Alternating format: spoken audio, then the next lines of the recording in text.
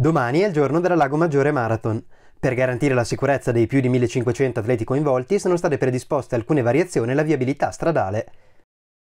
Abbiamo studiato in quanto a eh, viabilità la, la, soluzione meno impattante sul traffico, quindi abbiamo deciso di lasciare in accordo con la prefettura e la questura del VCO aperta eh, l'entrata e uscita sulla città di Verbagna tramite la variante di Bieno.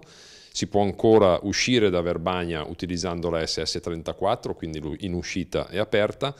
eh, abbiamo istituito una, mm, diciamo una, una, possibilità tramite il eh, ponte sul fiume Toce per entrare e uscire a Feriolo ed invece la parte legata a Baveno e Stresa a tutto l'Alto Vergante che, che, funziona un po' da, da sfogo eh, in attesa della, della mm, eh, nuova entrata per l'autostrada che diventerà molto utile per gli eventi sportivi. Dettagli sono su www.lagomaggioremarathon.it, eh, trovate anche una pratica scheda ehm, per eh, agli spettatori con orari do, di transito di tutte le gare, le location più importanti e i punti iconici del percorso, ma soprattutto anche un eh, documento che si chiama Infoviabilità sulla sezione ehm, eh, ospitalità che indica proprio la chiusura di tutti i tratti autostradali eh, interessati dal percorso.